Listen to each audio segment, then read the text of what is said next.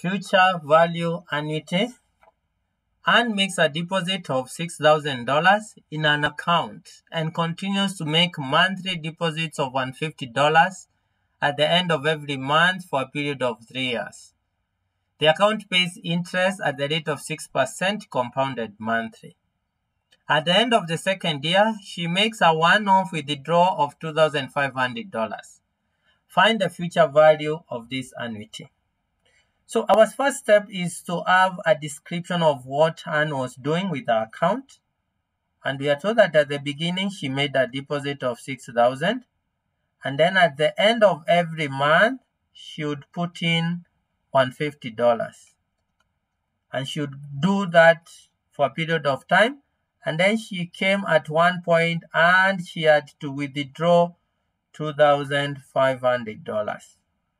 But remember, she continued with her deposits until the last time period that we have uh, given. So, what's the relationship between this time and this time? This is uh, two years.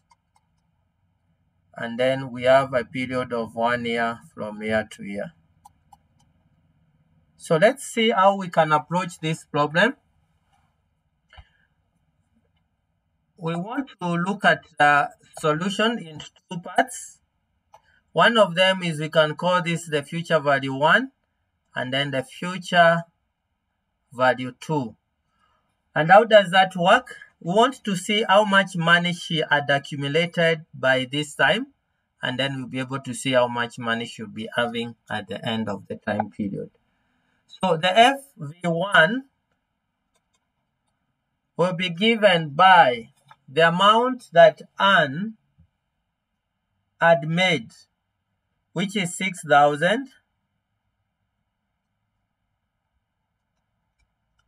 because we want this 6,000, we want to bring it to this time period. And then we take the 150 deposits that she was making every month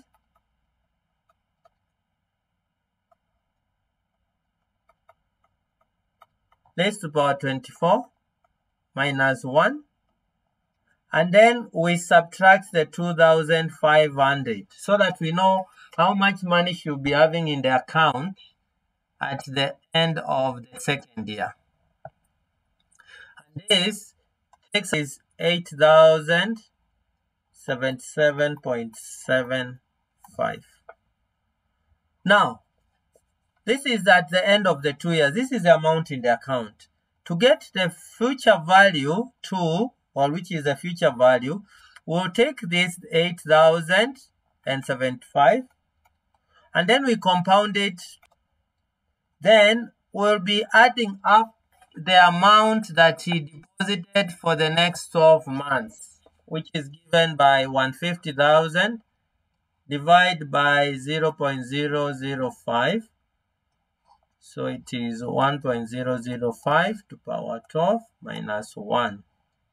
And if you do that computation, this will give us a total of 10,426.30. So this is the amount of money that Anne accumulated in the account. So we could say in a nutshell, this is what happened. And deposited 6000 and at the end of the month she would put in 150 and that went on for two years. At the end of the two years, she had to make a withdrawal of $2,500. And how much money was left into the account? We have seen it was $8,077.75. And then she continues to make a, a deposits of $150 until the last deposit of $150. And we've seen that after that, what was in the account will be 10,426.3. So that is the total amount of money that is there. And so this is the future value. So the future value will be equals to 10,426.30. The other part I didn't mention about is I was using 0.05. Remember 6% is per annum. So monthly is equals to 6% of 12 or which is 6 over 1200 which is 1 over 200 and 1 over 200 is 0 0.005